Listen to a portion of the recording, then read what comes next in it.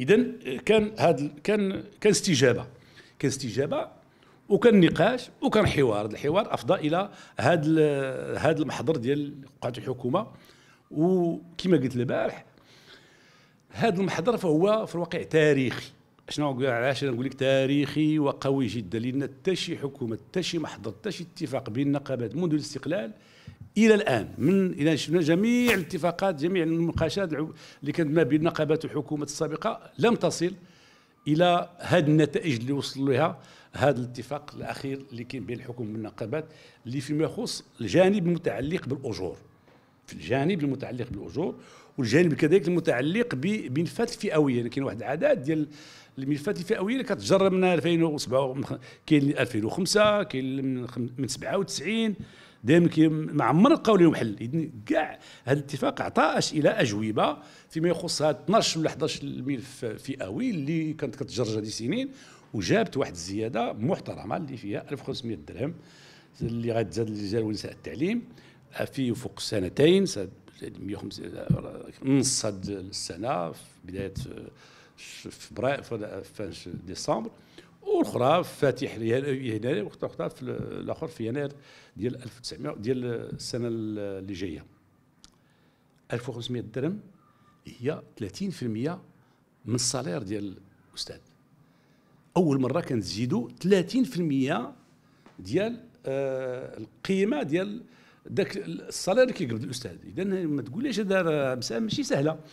امكانيه كبيره بعض بعض بعض البرلمانيين بعض الفروق البرلمانية كتقول مزيان هي 9 المليار هي كانت هي الحجم الاتفاق اللي كاين بين الحكومة والنقابات. من غتجيب الحكومة هاد 9 الملايير سيدي محمد الحكومة راه ماشي كتلعب.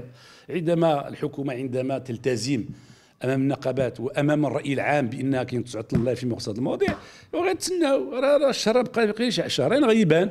راه غاد واش كاين ديجا كاينة 9 الملايير على على من هنا على ثلاث سنين. كاينة دايره في الميزانية. إذا دوك غيدير نص هذا العام. تبقى الثلث. الميزانية ديال 2025 يمكن ندير نزيدوا فيها هذاك الشيء اللي بين نديروا في 26 وبالتالي إمكانية ديال من غيجيو الإمكانيات هذا شغل الحكومة. هذا شغلها والتزمات. وراه سوف توفي بالالتزام ديالها فيما يخص هذا الموضوع الزيادة في الأجور. زيادة على هذا الزياده في الأجور راه دي زيادة أخرى. راه خصنا راه كاين الجانب المالي راه كبير اللي تحملته هذه الحكومة في هذا الظرف اللي هو ظرف صعيب دوليا.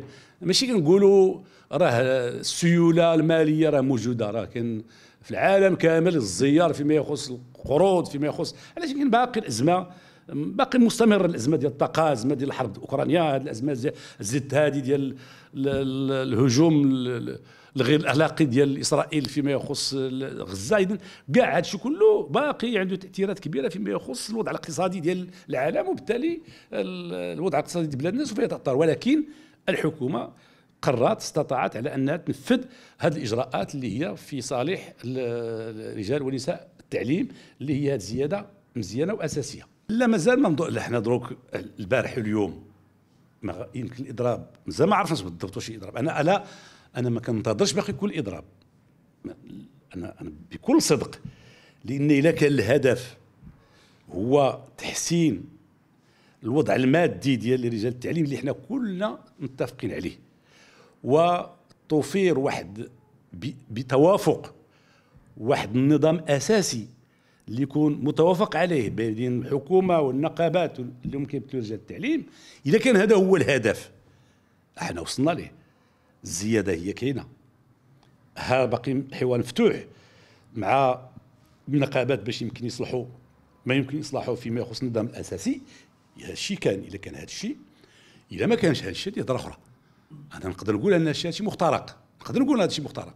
إذا ما كانش هذا الشيء لأن الهدف الاضراب قلت في البداية هو رد الانتباه ديال الحكومة وديال الوزارة الوصيه على ان هناك إشكالية فيما يخص الوضع المادي والاعتبار الأستاذ وصلنا.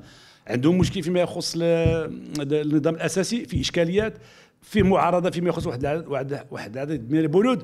الحكومة رئيس الحكومة تكلم وقال لك أنا مستعد الحكومة دير تحطوا تحط هذا النظام الأساسي. إلى فيه بزاف الحويجات مزيان في النظام الأساسي. راه راه فيه أغلب المواد راه هو الأساتذة وأنا أستاذ. فيه بزاف المواد اللي مزيانين بزاف. بالنسبة غير ديك ديك ديال الاستثنائية ديك الدرجة الاستثنائية اللي كتزاد فيها إلى الاسره واحد كتزاد فيه 2700 درهم. وخصنا نحافظوا عليها. ونحيدوها. نحيدوا هذا النظام الأساسي. وفي واحد العدد ديال المسائل اللي مزيانين بالنسبة لرجال التعليم. يبقى داك الشيء اللي مزيان في النظام الأساسي.